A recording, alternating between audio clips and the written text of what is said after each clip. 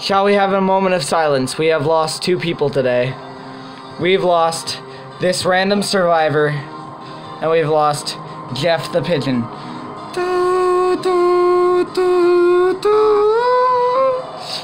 Like, screw this survivor. He had no life. He had no family. He had no kids.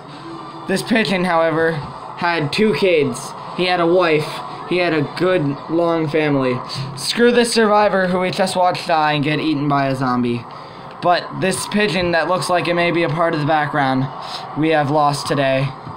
Now, we shall have a moment of silence and look off the edge for those we have lost today. Whoa, whoa, whoa, Oh my. whoa, Oh my god. Oh my god. There's Jeff's family. Oh my god, there's Jet, there's Jet's family, guys. We have proven. See, see, screw, screw the survivor who had no life. Jeff, Jeff the pigeon right there. Jeff, that pigeon right there. He had a life. He had a family, and here they all are. Migration, but the zombies got to him first. Uh, just look at them all over there. Ruthless creatures that have no soul, no family.